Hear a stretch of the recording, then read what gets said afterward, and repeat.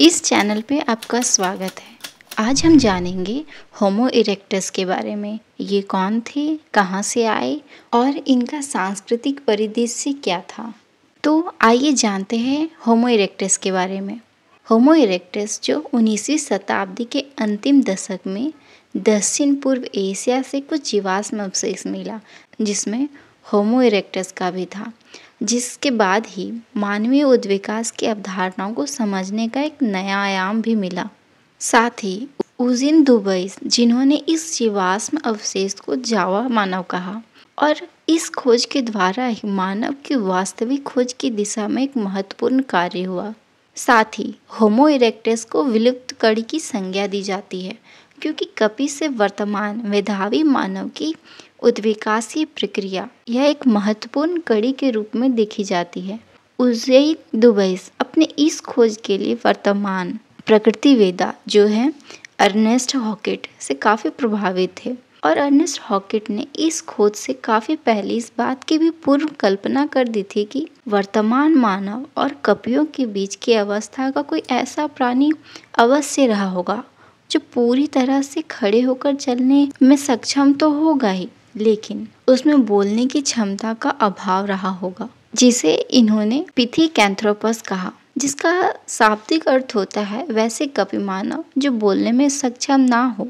इस तरह से अर्नेस्ट हॉकेट से प्रभावित होकर, उजैन दुबई ने अपनी जीवाश्म खोज प्रारंभ की और इस क्रम में उन्होंने अठारह सौ ईस्वी में जावा के खोलू नदी के किनारे स्थित त्रिनील नामक स्थान से कुछ जीवाश्म अवशेष की खोज की और इस अवशेष के रूप में उन्होंने एक कपाल, फीमर, दो मोलर दांत की प्राप्ति भी की, जिसे उन्होंने विलुप्त कड़ी की संज्ञा दी और इसका नाम पिथिक पिथिकैंथ्रोपस रखा, जिसे जावा मानव भी कहते हैं। इसका शाब्दिक अर्थ होता है खड़ा होकर चलने वाला कपि मानव। इस तरह से होमो इरेक्टस के अंतर्गत हम मुख्य रूप से दो तरह की जातियों का अध्ययन करते हैं। जैसे पहला पिथिकैंथ्रोपस इरेक्टस जिसे जावा मैन कहते हैं, और दूसरा सान्यथ्रोपस इरेक्टस जिसे पिकीज मैन या चीनी मैन भी कहते हैं। अगर हम इसकी उद्विकासीय स्थिति देखें तो जानेंगे कि पहले डारियोपिथिकस रामापिथिकस ऑस्ट्रोलोपिथिकस होमो हैबिल्स इसके बाद होमो इरेक्टस जिसे दो भागों में बांटा गया पिथिक एंथ्रोपस और सानियोथ्रोपस। इरेक्टस इसके बाद होमो निरियंठल इसके बाद होमोसेपियंस इस तरह से इसकी उद्विकासीय स्थिति का क्रम है। लेकिन इसके उद्विकासीय स्थिति में बहुत ही कंफ्यूजन है।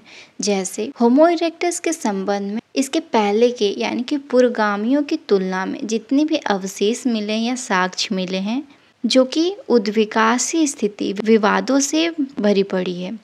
इसके अतिरिक्त होमोसेपियंस निरियंठल के उद्विकासीय स्थिति को निर्धारित करने के लिए जितने भी सिद्धांत हैं, सभी होमो इरेक्टस को निरियंठल का पूर्वज मानते हैं। तो आइए देखते हैं, इनमें कौन कौन से मानव शास्त्रियों ने इनकी उद्विकासीय स्थिति को दर्शाया है। जैसे बोल सकते हैं कि उद्विकास से स्थिति को वैज्ञानिकों ने अपने ढंग से बतलाने का प्रयास किया है। तो पहले थे उजिन दुबई जिन्होंने बताया कि पहले डारियोपिथिकस, फिर रामापिथिकस, फिर ऑस्ट्रोलोपिथिकस, फिर होमोहेबिल्स फिर रामापिथिकस, फिर निरियंठल उसके बाद है होमोसेपियंस अब देखेंगे ब्लैक ने होमो इरेक्टस को किस किन क्रमों से दर्शाया है? तो इन्होंने पहले डारियोपिथिकस, फिर रामापिथिकस, फिर ऑस्ट्रोलोपिथिकस, फिर होमो हेबिल्स, उसके बाद होमो इरेक्टस, जिसके बाद होमो इरेक्टस के दो भाग में बांटा गया पिथिक एंथ्रोपस और दूसरा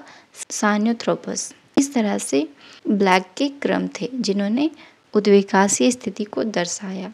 अब देखेंगे वर्डन रिच ने। इन्होंने होमो इरेक्टस को किस रूप में उद्विकास स्थिति को दर्शाया? तो आइए जानते हैं। पहला डारियोपिथिकस फिर ऑस्ट्रोलोपिथिकस फिर रामापिथिकस फिर होमोहेबिल्स फिर होमो इरेक्टस इन्होंने भी होमो इरेक्टस को दो भागों में बांटा पिथिक एंथ्रोपस और सान्योथ्रोपस फिर इन दोनों से ही निरियंठल का विकास हुआ। उसके बाद होमो होमोसेपियंस इस तरह से कई मानव वैज्ञानिकों ने होमो इरेक्टस की उद्विकास स्थिति को दर्शाने का प्रयास किया। अगर हम इनके सांस्कृतिक परिदृश्य को देखें तो हम जानेंगे कि होमो इरेक्टस के इस तरह से थे इनके सांस्कृतिक परिदृश्य।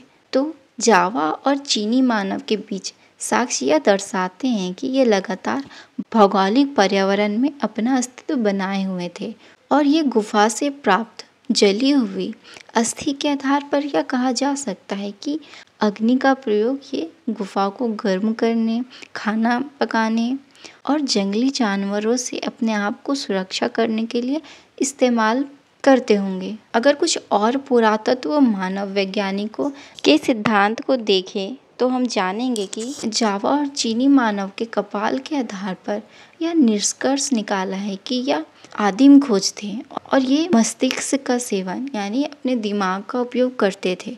और कहीं ना कहीं पर कपाल के साथ वच और मुरु के आधार पर कहा जा सकता है कि इनका इस्तेमाल अनुष्ठान के लिए भी करते होंगे। और अगर इनके टूल्स को देखें तो इसके आधार पर हम बोल सकते हैं कि चॉपर और फ्लग टूल्स और स्क्रीपर आदि पाए गए हैं।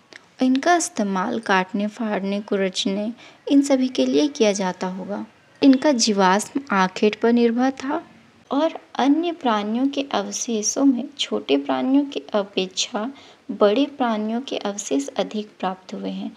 जैसे बोल सकते हैं कि बाघ, शेर, चीता, घोड़ा, इन सभी का शिकार करते थे। और इन उपकरणों का इस्तेमाल पक्षपात के रूप में भी किया जाता था। साथ ही होमो इरेक्टस का धर्म कपारू था। और तो और पेंड्रिक ने बताया कि चीनी और जावा मानव के द्वारा ही निरियंठल मानव का विकास हुआ था। और इनके परिणाम स्वरूप होमो होमोसेपियंस का विकास हुआ। और उन्होंने यह भी बतलाया कि चीनी मानव को मंगोलॉइड गुफा में रखा गया था। इस तरह से हमने आज होमो इरेक्टस के बारे में जाना, कहाँ से आए, कैसे आए, इनका उद्विकासी स्थिति क्या था, इनके प्रकार क्या हैं और इनके सांस्कृतिक परिदृश्य भी। उम्मीद है कि आपको होमो इरेक्टस के बारे में अधिक से अधिक इस वीडियो के माध्यम से जानकारी प्राप्त हो। अगर आपको यह वीडियो अच्छा लगे तो कमेंट, शेयर, साथ ही सब्सक्राइब करना ना भूलें। जिससे मेरी अगली वीडियो आप तक सबसे पहले पहुँचे।